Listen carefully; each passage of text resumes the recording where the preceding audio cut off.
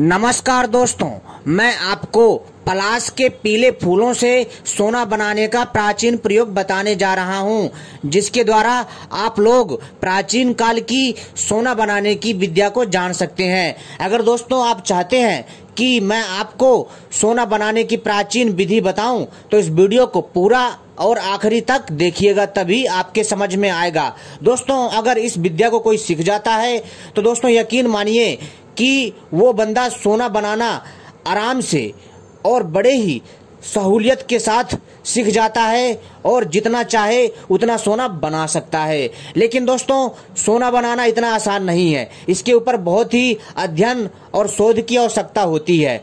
तो दोस्तों, चलिए मैं आपको बताता हूँ, सोना बनाने का प्राचीन प्रयोग, वो भी पलाश के पीले फूल से।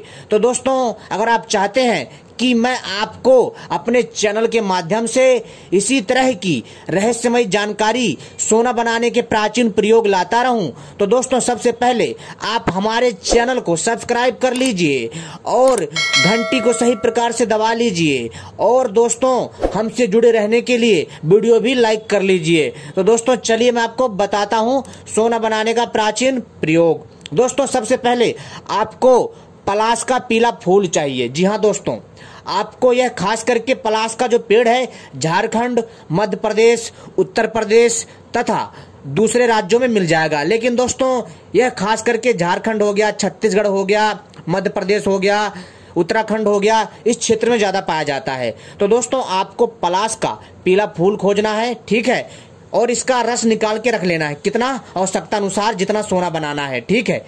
उदाहरण के लिए आपको जो है उसका कम से कम 200 ग्राम रस निकालना है। पलाश के पीले फूल का 200 ग्राम रस निकालना है। और आपको क्या चाहिए दोस्तों? शुद्ध पारा धातु चाहिए। जी हाँ शुद्ध पारा धातु चाहिए। आपको शुद्ध पारा धातु लेकर के आना है।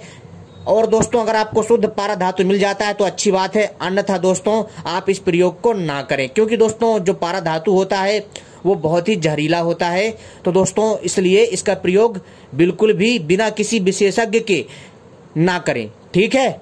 तो दोस्तों, इसके लिए शुद्ध पारा चाहिए और शुद्ध पारा धातु को पिघला करके, जी हाँ दोस्तों, पिघला करके। वैसे तो दोस्तों, ये लिक्विड फॉर्म में भी होता है। आपको इसके रस को, जी हाँ दोस्तों, आपको पलाश के पीले फूलों का रस जो आपने 200 ग्राम लिया है और उतना ही।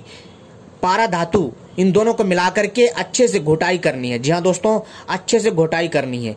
घोटाई करने के बाद दोस्तों, इसको मित्रों आराम के साथ। जी हाँ दोस्तों आराम से इसको पकाना है अग्नि में। जी हाँ आराम से पकाना है। और दोस्तों आप देखेंगे कि इससे दोस्तों एक विशेष प्रकार का भसम बन जाएगा। और आपको इस भसम को जी हाँ दोस्तों आपको इस भसम को क्या करना है कि रांगा धातु जी हाँ दोस्तों रांगा धातु लेना है उसको पिघला करके उसमें दोस्तों आपको एक रत्ती जो आपने पीले पलाश तथा शुद्ध पारा धातु को मिला करके जो भसम बनाई है अग्नि में जला करके तो दोस्तों इस भसम की एक, एक चुटकी यानी एक रत्ती आपको पिघलते हुए शुद्ध रांगा में मिला करके इसको पिघलाना है। मात्र लगातार आपको चार घंटा। तो दोस्तों, और इसको मिला लीजिए। आप देखेंगे कि जो रांगा धातु है, वो सोने में तब्दील हो जाएगा। इसी तरह दोस्तों, आपको जो है तांबे में भी करना है। तांबे को अच्छे से पिघला लीजिए और रत्ती भर जो आपने भसम बनाई है पारा धातु और पलाश के पीले फूलों से तो दोस्तों, इसको भी एक रत्ती के मात्रा में डाल दीजिए और अच्छे से मिला लीजिए। आप देखेंगे कि जो तामा धातु है, वो सोने में परिवर्तित हो जाएगा। मित्रों, जितना आपको सुनने में आसान लग रहा है, इतना आसान नहीं है। और इसमें बड़ा ही सावधानी रखना पड़ता है। और इसमें ये देखना पड़ता है कि जो तापमान है, बराबर होना चाहिए। जितना तापमान चाहिए, उतना ही तापमान हमें देना पड़ेगा। खास करके हमें कंडे का प्रयोग करना चाहिए। जो गाय के गोबर के कंडे होते हैं जो भैंस के गोबर के कंडे होते हैं उस उससे हमें ये ये क्रिया करनी चाहिए पकाने वाली। तो दोस्तों, उम्मीद करता हूँ आपको ये जानकारी पसंद आई होगी। मित्रों, हमारा मकसद है आपको प्राचीन काल की जानकारी दें। दोस्तों, ये बात सत्य है कि पलाश के फूलों से सोना बनता है। ये बात सत्य है। और दोस्तों, कोई माने या ना माने, क्योंकि दोस्तों, इसके जानकार नहीं है तो दोस्तों, इसका प्रयोग अगर कोई भी व्यक्ति करता है और यदि उसको लाभ नहीं मिल पाता है तो दोस्तों हमारी ज़िम्मेदारी नहीं होगी हमारे चैनल की। ठीक है दोस्तों? मैंने आपको जानकारी के उद्देश्य से बताया है। अगर कोई त्रुटि हो गई हो मित्रों तो क्षमा चाहता हूँ। धन्यवाद।